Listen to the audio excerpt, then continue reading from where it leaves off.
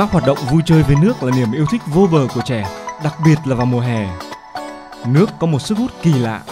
Được vẫy vùng trong nước, trẻ cảm thấy tự do, thư thái và vui vẻ. Hè này con muốn bố mẹ cho đi biển Sầm Sơn. Con muốn bố mẹ sẽ đưa con đi chơi ở Hải Phòng ạ. Con thích đi chơi ở biển ạ. Con thích đi biển tại vì con sẽ được ngắm hoàng hôn và bình minh. Vì những cái đó con không được ngắm ở thành phố ạ. Khi nào học bơi được rồi con sẽ đi biển.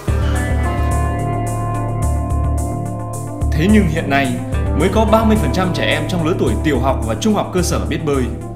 Con sợ nhất là con bị sóng nó đánh rồi con bị dìm xuống nước.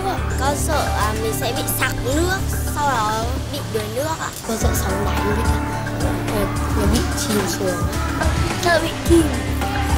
Con sợ như là chẳng may nước chảy mạnh thì con bị cuốn. Đuối nước là nguyên nhân hàng đầu gây tử vong do tai nạn thương tích ở trẻ em và người chưa thành niên tại Việt Nam. Tỷ lệ tử vong do đuối nước ở trẻ em chiếm khoảng 50% các trường hợp tử vong do tai nạn thương tích, xảy ra chủ yếu tại cộng đồng với con số đáng báo động lên tới 77,6%.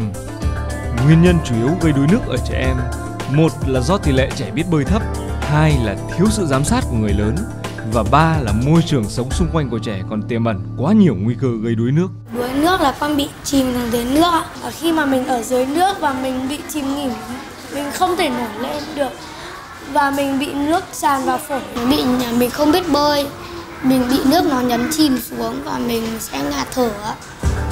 Theo báo cáo hàng năm của Sở Lao động Thương binh và Xã hội, trong năm 2015, số trẻ em tử vong do đuối nước là 2.220 trẻ. Năm 2016 có 2.110 trẻ em tử vong do đuối nước và năm 2017 có khoảng 1.995 trẻ em tử vong do đuối nước. Các vụ đuối nước ở trẻ em xảy ra tập trung vào những tháng hè, đặc biệt là vào đầu mùa khi trẻ em chuẩn bị nghỉ học. Hãy mặc áo phao cho con mình để bảo vệ an toàn ạ. Khi mình mặc vào người mình có thể nổi lên ạ. Giúp con không bị chìm xuống dưới mặt nước ạ. Chống đuối nước ạ. Mình phải học bơi để nếu mà chẳng may mình bị rơi xuống nước hoặc là mình bị đuối nước thì thì mình còn thoát được.